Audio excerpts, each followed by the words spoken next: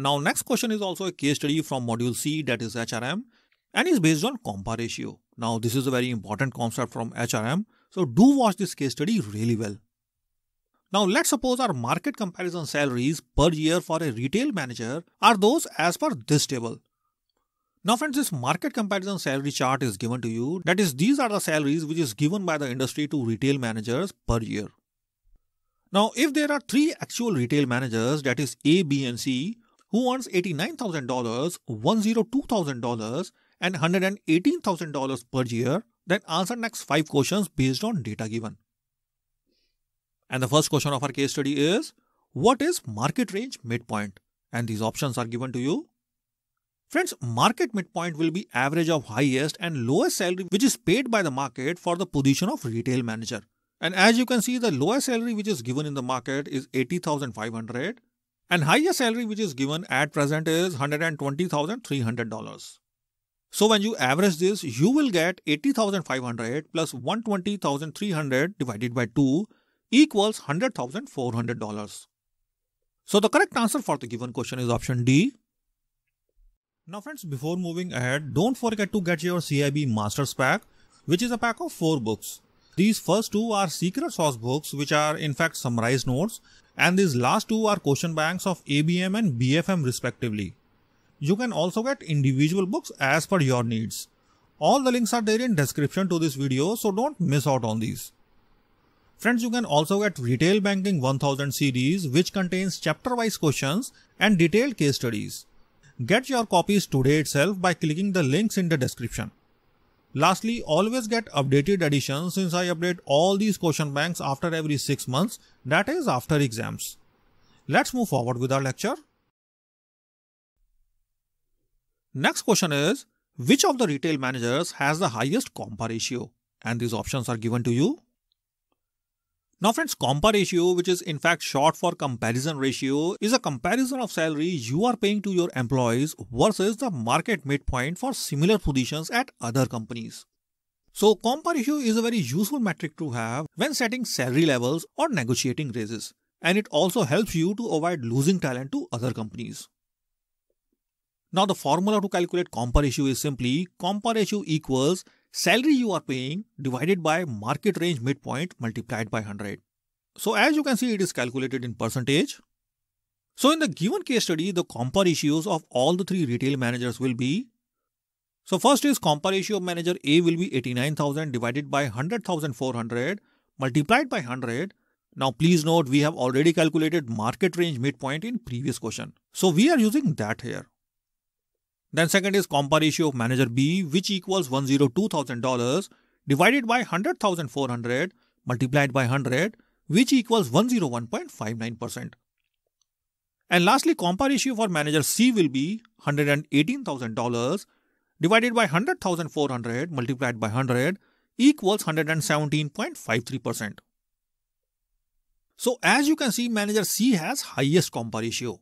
Thus the correct option for the given question is option C the next question of our case study is which of the manager is getting salary above market rate? And these options are given to you. Now friends, we can interpret compa ratio as per this chart. That is, if compa ratio is less than 100%, then this means that you are paying below market rate. And if compa ratio is exactly 100%, then you are paying at par of market rate. And if compa ratio is greater than 100%, then you are paying above market rate. So with respect to this question, you can see that Compa ratio of both managers B and C are 101.59% and 117.53% respectively. So both are getting their salaries above market rate. Thus the correct option for the given question is option D. Now friends, before moving ahead, please note case studies plays very important role in clearing CAIIB. Most often candidates who are stuck in this paper often fails to crack the case studies in examination. So if you haven't enrolled into my extensive BFM case studies course, then enroll it today itself. As this course may be the difference between your passing and failing in BFM paper. The format of each lecture is that I will first make you grasp the theoretical concept of case study and then we will solve a detailed case study. Just for example, if the case study covers gap analysis, then first we will cover the theoretical aspect of gap analysis and then we will solve the detailed case study with respect to gap analysis. So friends, even if you haven't finished your textbooks, even then you can easily grasp the concept. All the links to join my BFM case studies class is there in description to this video. So do join it today itself. Next question is, which of the following managers can be classified as fully competent performers performing the job as defined? And these options are given to you. Now friends, there are another interpretation of compa ratio which is different from that of what we saw in previous question. So in this interpretation, there are usually five zones of compa ratio and each of these zone is associated with a predefined level of performance. Now a commonly accepted range of compa ratios is 80% to 120 which is divided into five zones. First is 80 to 87% which defines the candidates that are new, inexperienced or unsatisfactory performed incumbents. Then second is 88 to 95%. This includes those who are gaining experience but not yet fully competent in the job. The next is 96 to 103%. This means fully competent performance performing the job as defined. The next is 104 to 111%. This includes those consistently performing the job at a level higher than what the job definition requires. And lastly, we have 112 to 120%. This includes those who are universally recognized as outstanding performers both inside and outside the organization.